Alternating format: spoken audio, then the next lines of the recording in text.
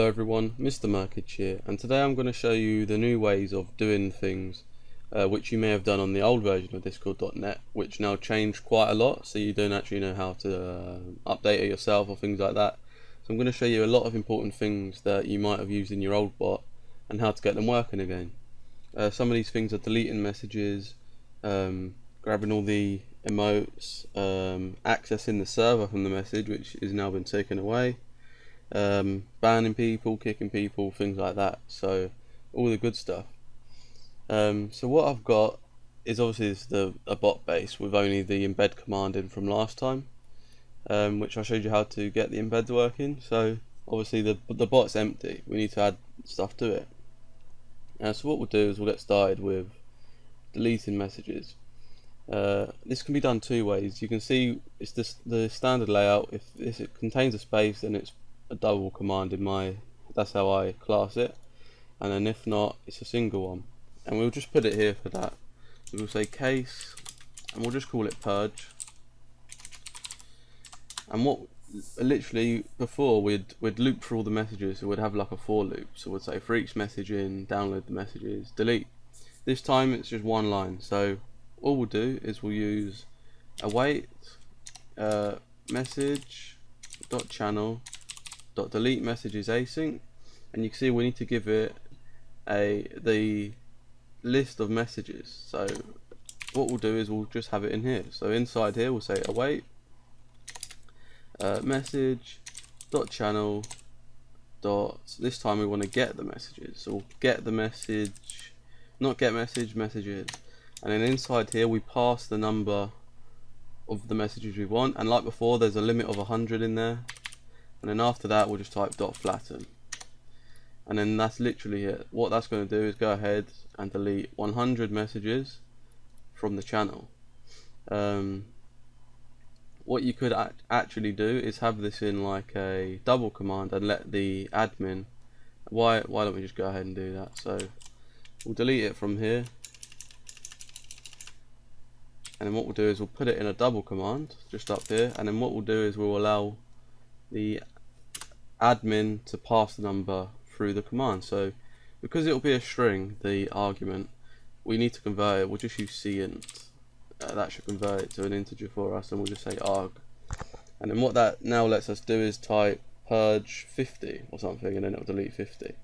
And then that's how you do it. And maybe if you want, you can send a message after saying successfully deleted 50 messages or whatever. That's entirely up to you if you want to display that. Uh, so that's it for deleting commands. Next what we'll do is I'll show you how to uh, go in and access the server because before all we'd do is we'd type message dot channel and after that we'd be able to type dot server. In this case you'd because everything got changed to guild you'd think of it dot guild but it doesn't exist. You can't actually access the server. Uh, but the way to do it is we're going to cast it to a guild channel or, or a guild. Doesn't really matter which one and then we we can access it through that. So uh, for that command let's just say we'll go ahead and do the emotes one. Uh, what this does is basically lists or shows every single emote in the uh, server. So what you do is you say case we'll just say emote or emotes. And actually for this one we don't need an argument so we'll go ahead and put it down in the single one. And then all we're going to do is we're going to have a little uh, for each statement. We'll have for each we'll just call it emote as an emote in well, this is where we're going to do the cast direct cast and what we're going to do is convert the message.channel or message.channel and we're going to cast it to an i guild channel then after that we can now type dot guild and then have access to the guild. From this we just want to take the emotes because we're looping through each emote. And now this is where we get to decide what we want to do for each one. Um, obviously we don't want to send each one here because then it will send like, let's say you have 50, it will send 50 different messages. So what we can do is say dim emotes as a string and it will be equal to nothing and then in here we'll just uh, we'll say emotes is equal to itself. And then we'll add on the next emote in it. So then emotes of the string is going to be equal to like all of them in one. And we'll send it just in one message. Uh, so if you've ever done the thing with Discord where you send the emote as the ID and things um, it's usually like this. You do the two uh, arrow things. You have one of them then you have the name another one then you have the ID so it's something like that. Um, this is essentially what we're going to do because we got access to each one. So we'll say um, I have this as a string then we're going to add on the emote.name then we're going to add on the extra colon and then we'll add on the ID uh, emote.id and then after that we just add on the final uh, little arrow. And then that's good to go and then after we've we've done or completed the loop we'll send the message. Away uh, message dot channel dot send message.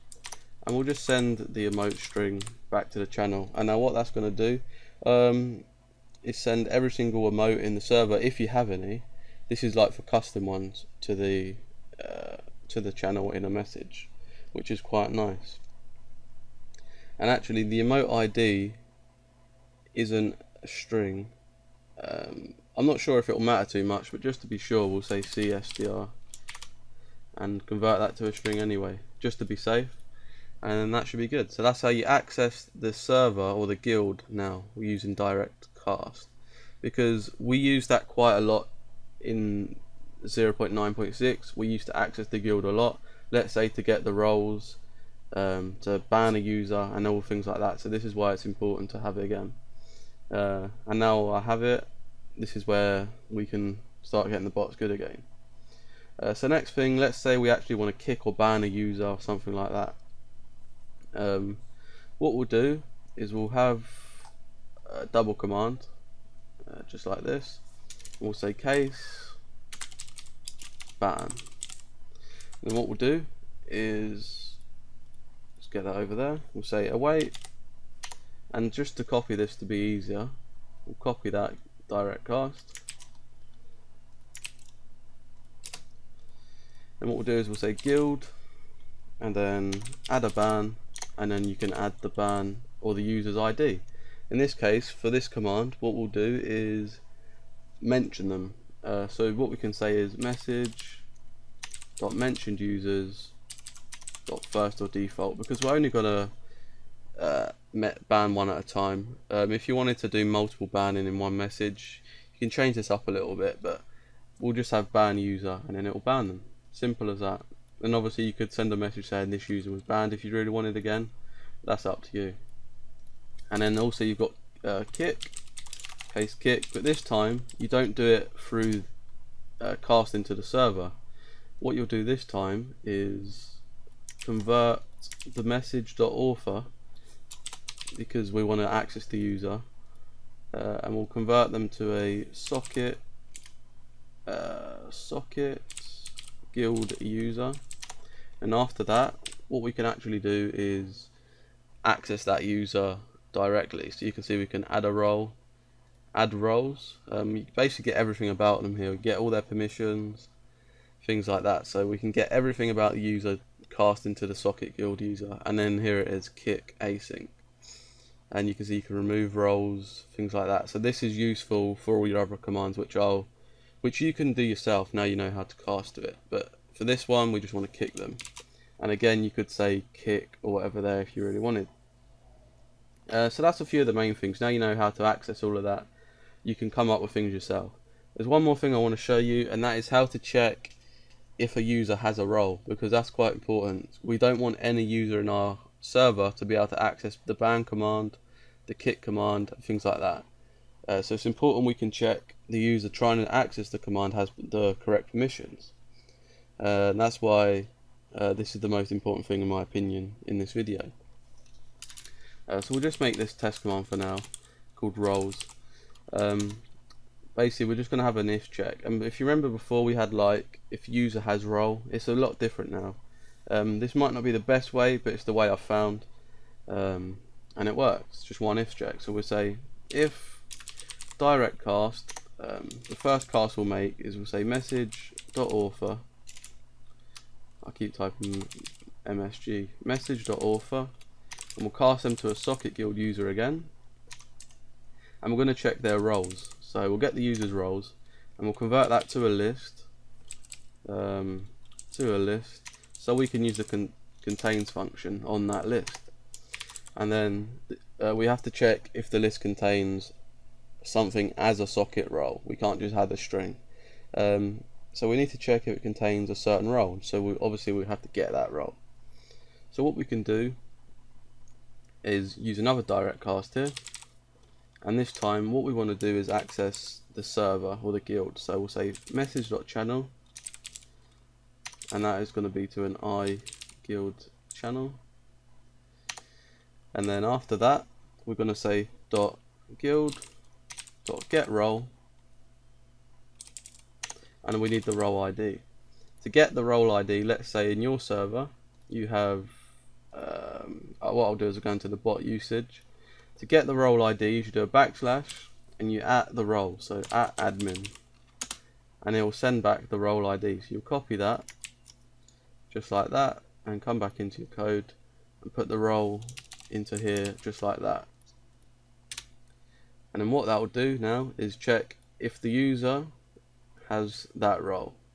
Simple as that. And if they do do whatever. If not don't allow them. So we'll copy that if check and uh, delete that. So then for kick we'll put that in. We'll put it in for all of these because they're all quite important commands. And then we'll uh, paste it back in just like that and we'll say else. We'll put a message there in a second as well. Um, so just like these we'll put the actual command in. Tidy it up a little bit.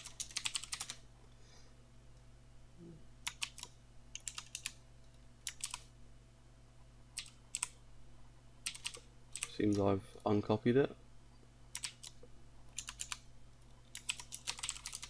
and obviously we'll just say await uh, message dot channel dot send message.